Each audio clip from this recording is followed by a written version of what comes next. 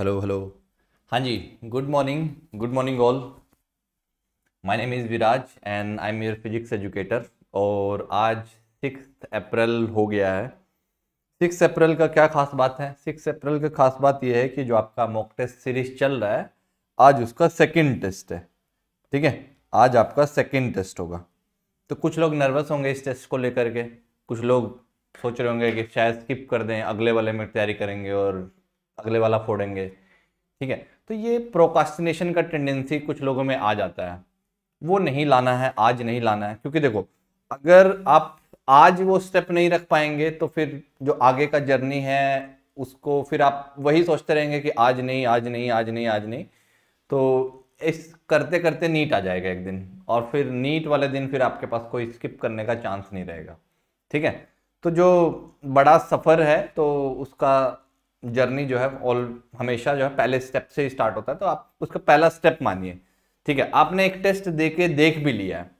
इस टेस्ट में क्या पाया होगा? आपने फुल सिलेबस टेस्ट दिया होगा। बहुत लोग प्रिपेयर्ड नहीं होंगे अनप्रिपेयर्ड गए होंगे। ठीक है, हमने जानबूझ के फुल सिलेबस टेस्ट रखा था कि अनप्रिपेयर्ड जाइए। अनप्रिपेयर्ड जाके देखिए एक बार कि अनप्रिपेयर्ड जाने से क्या होता है, कितना कैसा रिज़ल्ट आता है, खराब आता है अच्छा आता है। ठीक है, क्या आपको कुछ सीखने को मिलता है जब आप अनप्रिपेयर्ड वे में टेस्ट देते हैं? ठीक है? जैसे आप अनप्रिपेयर्ड वे में गए, आपने एटलीस्ट पैटर्न तो समझा होगा कि मैं इसको इतनी देर में अटैम्प्ट कर पा रहा हूँ, इतने क्वेश्चन अटैम्प्ट कर पा रहा हूँ। मेरे से तो जो है सो ही क्वेश्चन अटैम्प्ट हो पाए तीस घंटे में। सॉरी तीन घंटे में, तीस घंटे में तो कहाँ होंगे? तीन घंटे में। तो अगर आपको, अब आपका टारगेट आपको पता चलेगा कि आप इतना लैग कर रहे हो, आप करंट स्टेटस पता चल गया कि अनप्रिपेयर्ड स्टेज में या थोड़ा पार्शली प्रिपेयर्ड स्टेज में आप यहाँ पर स्टैंड कर रहे हो। ठीक है? तो लूप होल जो फिल करने का अब जो मकसद है आगे का तो उसको कैसे आप उन लूप होल्स को प्लग करेंगे, उसका एक प्लान बनाया जा सकता है। उसकी स्ट्रेटेजी बनाई जा सकती है। और वो स्ट्रेटेजी हमने कुछ आपको शेयर भी किया है कि हम आपके प्लग जो लूप होल्स को प्लग इन करने के लिए कि ये चैप्टर इसी तारीख को डील किए जाएँगे।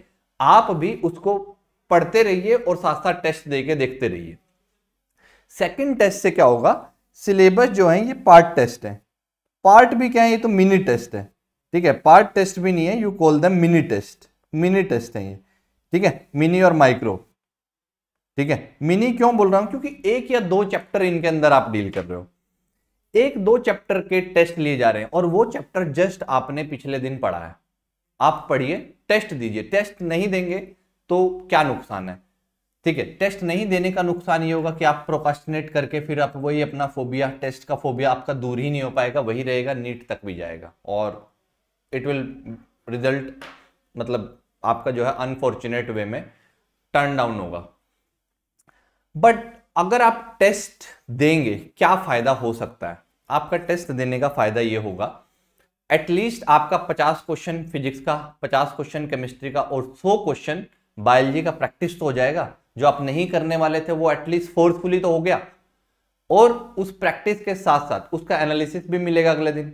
जहाँ जहाँ कमियाँ रही जो जो नहीं समझ आया, वो। और कुछ जो सीख मिली कि भाई हाँ भाई, मुझे टाइम को कैसे मैनेज करना है, उन तीन घंटों को कैसे यूटिलाइज करना है पैनिक होना है कि पैनिक को जो अपने पैनिक अटैक्स आते हैं उस टाइम में, उनको कैसे हैंडल करना है। मान लें, दस क्वेश्चन लगातार नहीं हुए। दस क्वेश्चन लगातार नहीं होते ना किसी पेपर में तो धज्जिया उड़ जाती है कॉन्फिडेंस की। चाहे कितने भी कॉन्फिडेंस के साथ गए हो, ऐसा लगता है कि मैं इस पेपर को क्रैक करने के लिए नहीं बनाऊ उस सिचुएशन को हैंडल करना आ जाएगा आप लोगों को। समझा? तो मैं एज अ मतलब बड़े भाई की तरह मान लीजिए मुझे, मैं बस आपको ये सजेशन देना चाहता हूँ कि आप टेस्ट ज़रूर ज़रूर दें।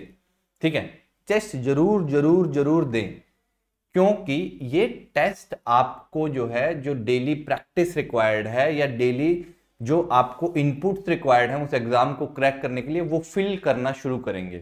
धीरे धीरे होंगे ग्रेजुअली जैसे आप पहला टेस्ट दो, दूसरा टेस्ट दो सिक्स या टेंथ टेस्ट तक अगर आप कंटिन्यूटी रखेंगे तो आपको इंप्रूव पता चलेगा। इंप्रूवमेंट भी पता चलेगा और ये भी इंपॉर्टेंस भी पता चलेगा। पहले टेस्ट से अच्छा आपको लगेगा कि हाँ मेरे मार्क्स साढ़े तीन सौ आए, चार सौ आए, साढ़े चार सौ आए, कम आए। ठीक है बट अब इनको फिल कहाँ कहाँ कमियाँ हैं, वो नोट डाउन होंगी। अगर नहीं करेंगे तो वो वैसी की वैसी रहेंगी फिल नहीं हो पाएँगी तो इसका कुछ क्या ही मतलब आउटपुट क्या निकलेगा, कुछ नहीं निकलेगा। आप अपने आप पे प्रैंक करके चले जाएँगे, पैसा भी आप लगाते हो, ठीक है हार्ड अर्न मनी होता है किसी का वो, चाहे वो कितना ही छोटा अमाउंट हो कि चार सौ रुपये का टेस्ट सीरीज़ तक, चलो कुछ नहीं, चार सौ के तो हम जो है कुरकुरे खा लेते हैं। उसको ऐसे मत लीजिए, ठीक है? ठीक है, आपने उसको, अगर आपने कुछ पे किया है उस अमाउंट उसको लिए तो चार्ज के लिए, और अब आप उसको यूटिलाइज करिए ना सिस्टम को। दीजिए टेस्ट देखिए अपने आप को, मूल्यांकन करिए अपने आप का, और इम्प्रूव करिए, ठीक है? ग्रेजुअली इम्प्रूव करिए, और हमारे साथ इम्प्रूव करते रहिए, क्योंकि हम वो प्लग इन करने के लिए ही आपके साथ खड़े हैं जहाँ जहाँ आपके लूपोल्स हैं, ठीक है? हम चाहते हैं, हमारा इंटेंशन एकदम साफ़ है कि आप अच्छे मेडिकल कॉलेज जाएँ, बस, सीधा सा, अच्छे डॉक्टर बने। सिंपल। चलिए तो देंगे, पहला स्टेप रखेंगे। तो ये देखिए, ये आप ये आप ही हैं बेसिकली तो खुशी खुशी टेस्ट देना है स्टेप रखो, ठीक है? थाउज़ेंड माइल्स का जो सफ़र है, हमेशा पहले स्टेप से ही शुरू होता है, ठीक है? और डर के आगे जीत है, ये आप रोज ऐड सुनते ही रहते हैं।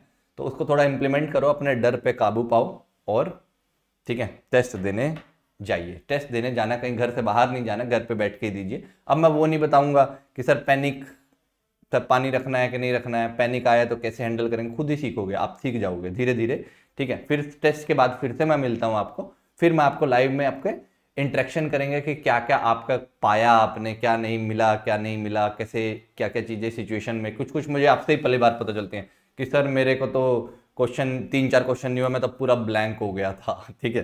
तो वो नहीं करना है। ठीक है? चलिए ऑल द बेस्ट बेस्ट विशेष ठीक है? जाइए टेस्ट दीजिए and good morning again bye bye take care have fun see you हाँ? See you in the analysis part चलिए बाय